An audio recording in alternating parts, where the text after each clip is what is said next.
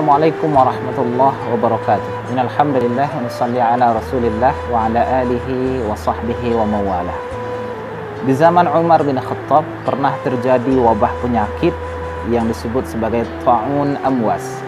Kenapa disebut amwas? Karena berasal dari satu tempat bernama Amwas yang terletak antara Ramallah dan Yerusalem atau Palestina hari ini.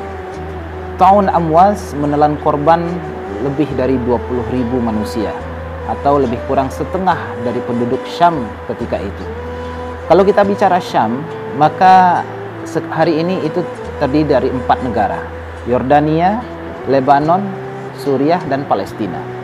Bayangkan kita ilustrasikan, jika empat negara ini kehilangan separuh dari penduduknya, maka itu adalah bencana wabah penyakit yang luar biasa. Itulah yang terjadi Ta'un Amwas yang ketika itu menyerang negeri Syam di zaman Umar bin Khattab.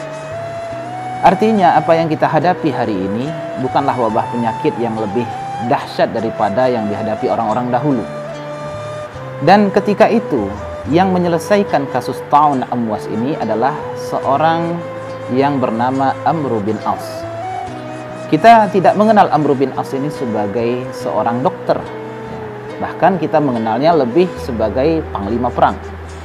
Namun Amr bin As, keajaibannya adalah orang yang senantiasa berpegang dengan sunnah Nabi Shallallahu Alaihi Wasallam. Ketika Amr bin As ditanya bagaimana penyelesaian taun wabah penyakit yang ada di Amwas ini, beliau mengatakan tidak ada caranya kecuali kembali kepada hadis Nabi Shallallahu Alaihi Wasallam. Nabi dalam Sahih Muslim pernah bersabda, "Idza sami'tum ta'unu fil fil ard, fala tadkhuluha. Wa idza waqa'a ta'unu wa antum biha fala takhruju minha. Jika engkau mendengar ada wabah penyakit dalam satu negeri maka engkau jangan masuk ke dalam negeri itu. Tapi jika kamu sudah di sana wabah penyakit sudah ada di negeri tersebut fala takhruju minha. Engkau tidak boleh keluar darinya. Kalau sekarang orang menamakannya lockdown. Tapi sebenarnya Nabi SAW telah terlebih dahulu menjelaskan kepada kita bagaimana penanganan wabah penyakit. Nah, inilah luar biasanya ajaran agama kita. Belum lagi kita mengenal bagaimana tata cara mengobati, mengantisipasi, bagaimana cara penanganan wabah penyakit. Nabi SAW sudah terlebih dahulu mengajarkan kita kepada umatnya bagaimana penanganan wabah penyakit jika terjadi di satu negeri. Para ulama kita di antara Imam Ibnu Abi Dunya di abad ke-2 atau abad ke-3 Hijriah atau abad ke-8 Masehi sudah menulis buku luar biasa. Beliau menulis uh, kitab At-Tawa'in yaitu bagaimana langkah-langkah penyelamatan diri dari wabah penyakit. Lebih uh, uh, singkatnya sebagaimana Amr bin As menyelesaikan kasus Amwas ketika itu. Dia meminta supaya negeri tersebut diisolasi, dikarantina, bahasa sekarang lockdown. Di karantina dan tidak hanya negeri tersebut tapi diperdalam lagi hadis ini orang per orang disuruh disuruh untuk berpisah satu sama lain. Maka ada yang pergi ke gunung-gunung pergi ke lembah tidak boleh setiap orang bertemu dengan orang lain. Kalau sekarang mungkin disuruh untuk stay at home tinggal di rumah.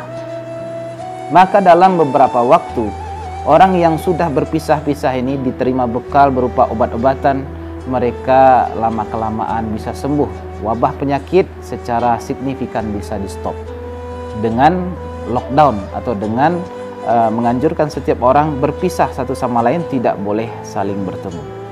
Nah, apa yang dilakukan hari ini oleh uh, himbauan oleh pemerintah, oleh beberapa kalangan yang sudah mencoba langkah seperti ini, alhamdulillah efektif dan kita berdoa kepada Allah Subhanahu wa taala dengan mengamalkan sunnah Nabi apa yang sudah eh, dijalankan oleh Amr bin As para ulama bacalah kitab uh, At-Tawa'in ini dan beberapa kitab-kitab yang lain yang ditulis oleh para ulama kita supaya uh, negeri kita bisa cepat keluar dari wabah yang sedang menjangkiti hari ini. Mudah-mudahan bermanfaat. Wassalamualaikum warahmatullahi wabarakatuh.